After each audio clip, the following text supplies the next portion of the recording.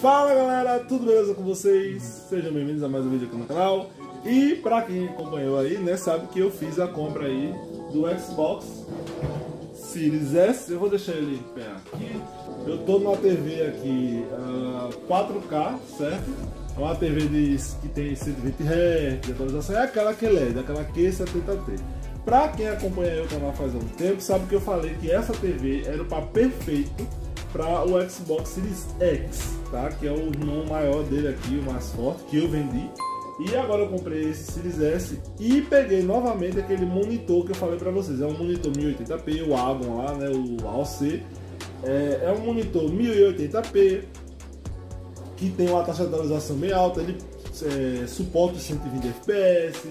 Então, era um monitor ali que ele tem HDR, aquela coisa toda. Mas ele é 1080p. Então, eu achava meio que um desperdício ficar com o Xbox Series X nele. Eu gostei do resultado, sim, eu mostrei vídeo para vocês aqui. Só que eu preferi usar o Series X na TV, certo? Que era maior, aproveitava o 4K, aquela coisa toda. Já esse bichinho aqui, o negócio dele é o 1440p e 1080p. Alguns jogos dele rodam sim a 4K, não são todos, mas alguns chegam a rodar 4K.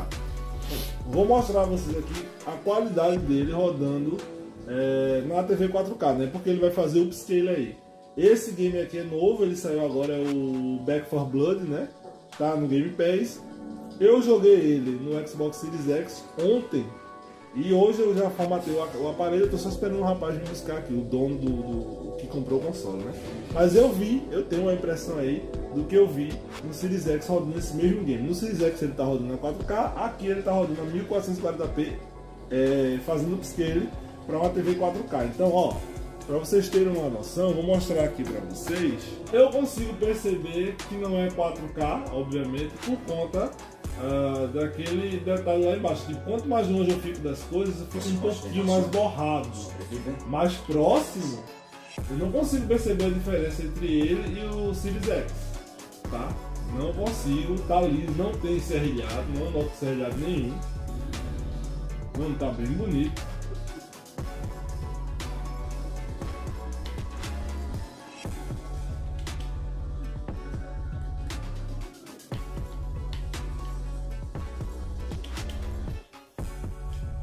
Não tô notando. Tem um cara que morreu.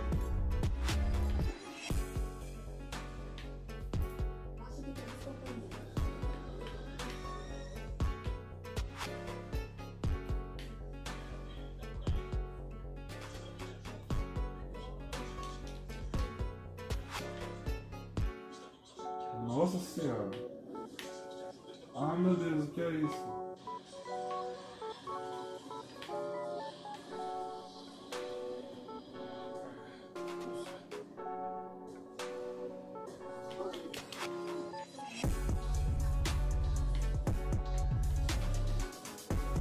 Mano, esses zumbis aqui estão muito loucos, velho.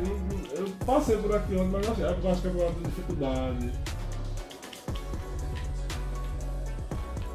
Uma câmera principal do aparelho para vocês darem uma olhada, ó. Estão vendo? As texturas aqui, ó.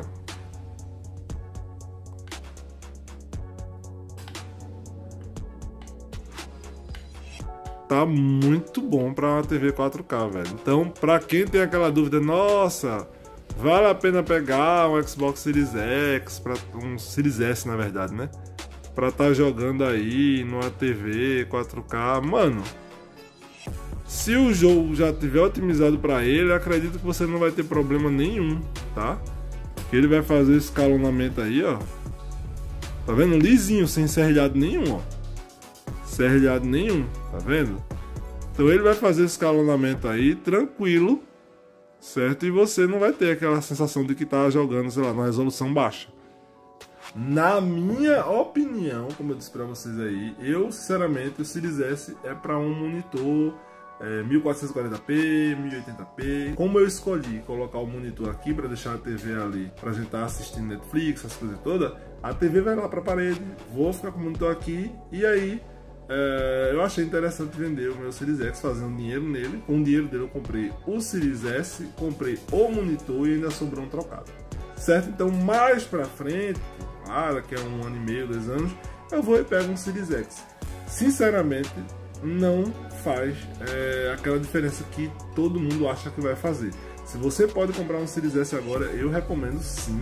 É, o game tá rodando aqui tranquilo, sem dar engasgada nenhuma. Inclusive tem gente já mostrando gameplay do Forza Horizon 5 rodando no Series S sem falar nada e a galera achando que é no Series X, não é, é o Series S rodando a 60 FPS, ele rodando a 30 FPS no modo lá que tem mais gráfico, então é um absurdo, é realmente um console muito pequeno que entrega uma potência realmente inacreditável para o preço dele.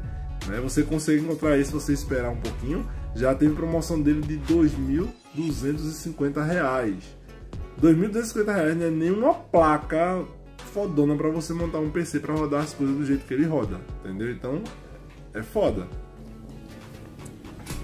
Tá aqui, ó, vou até acender o flash para vocês verem, ó.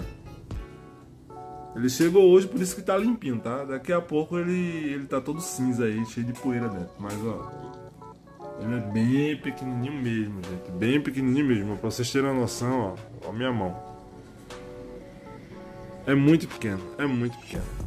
Então é isso, era isso que eu queria falar pra vocês sobre o Xbox Series S.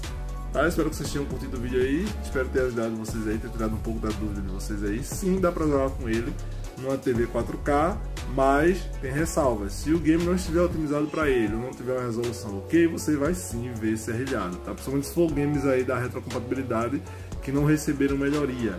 E aí você vai acabar vendo sim muito serrilhado. Tá certo? Espero que vocês tenham curtido o vídeo. Um abraço, um beijo e até a próxima, pessoal. Fui!